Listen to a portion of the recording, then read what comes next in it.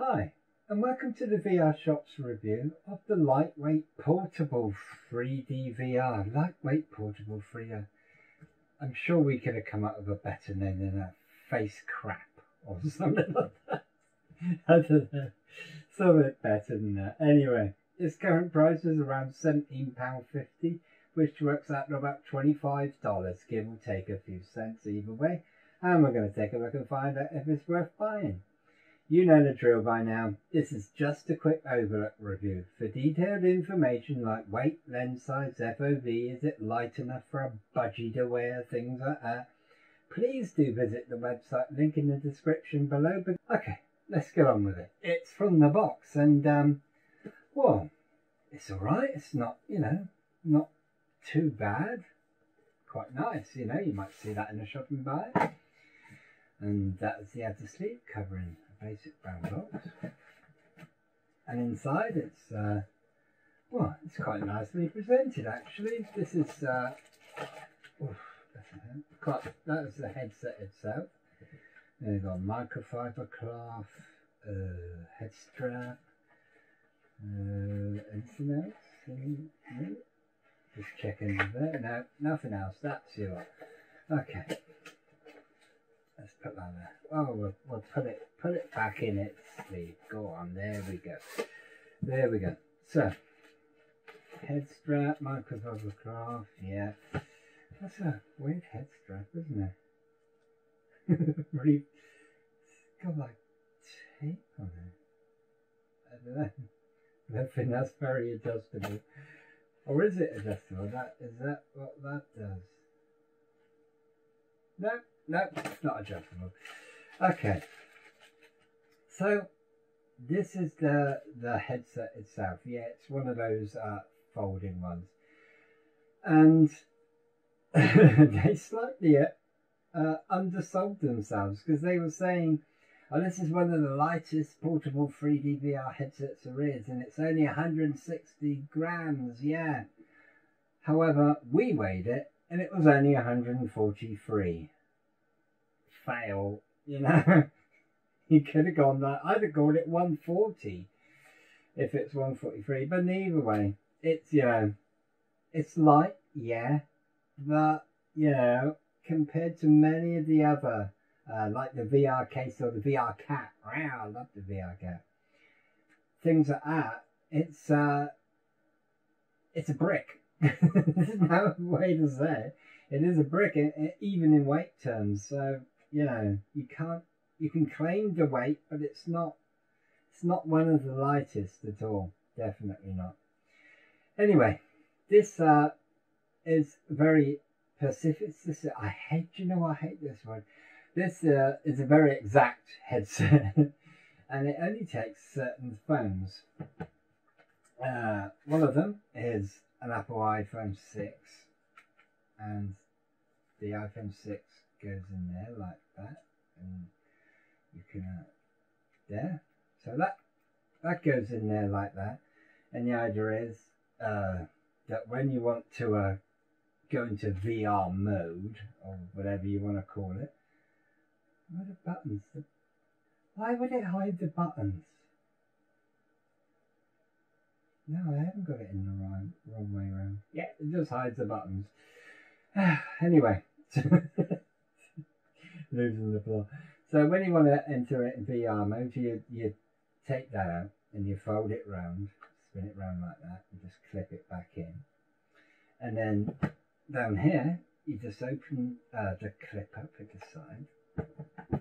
There we go. And then this will uh, come up and you can hopefully uh, just pull it right up.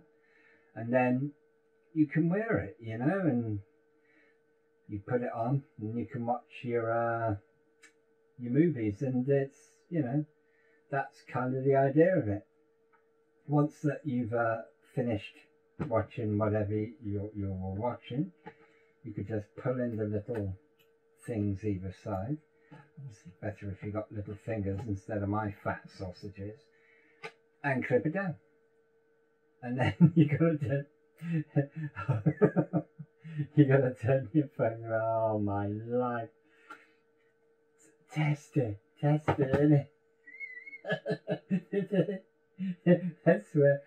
They just release it, they just, you know, you sure it'll work. I don't care. Just get it out. Yeah, make money. Some monkey will buy it, the VR shop and buy it, a bunch of monkeys. oh, sorry, it's been a long day, it's been a long day.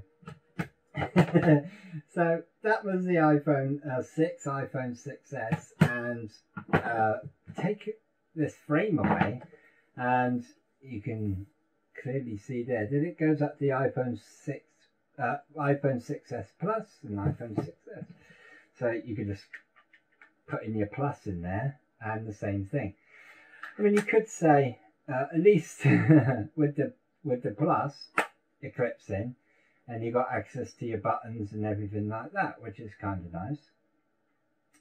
Unfortunately, once that's clipped in, it's a git to get out, and I'm talking mega pain.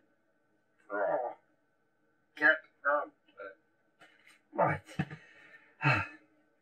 At which point, oh my life. At which point, you're supposed to turn it round clip it back in. Yeah, and that clip is as clingy as you as it sounds. Open it back up uh, and pull it back up, and then you can watch something on your bigger.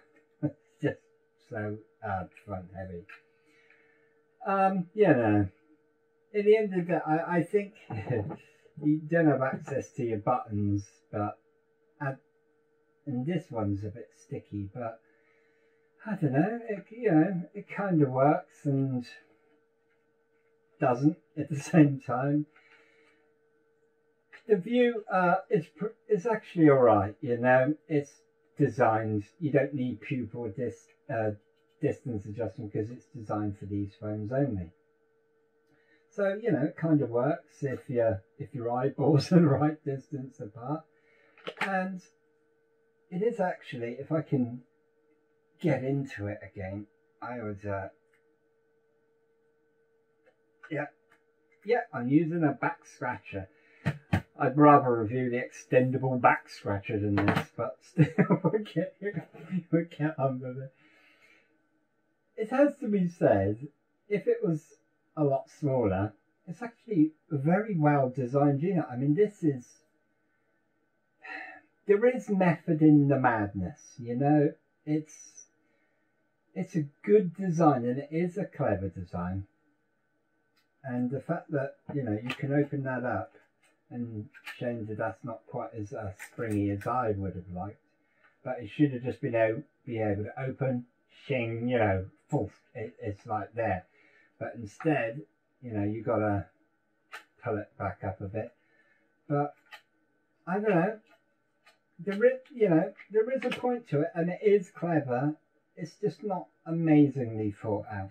I'd have it, you know, I know it's ridiculous as a phone case, I know that, but I'd kind of have it like that, you know, I know it'd be a pain getting out, you'd have to use the extendable back scratcher that is a far better product with much better value for money, and, well, I don't, I don't, you know what, I don't care, I'm just going to leave it in there, and I'll open it up, because it looks better, it does look quite nice opened there we go.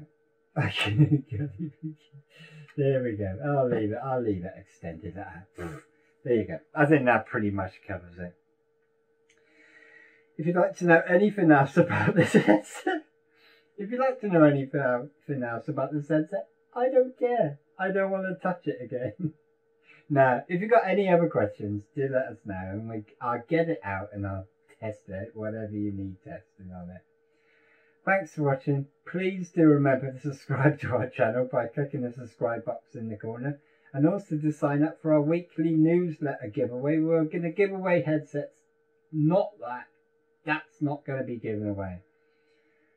Much better headsets in our weekly giveaway each and every week. A big thanks goes to our star of the show, which is a lightweight portable 3DR, 3D VR, which is, uh, well, it's, uh, it's pretty clever, but I don't know. It's just, it's not there, is it? You know, a good idea that fell slightly short of the finish line.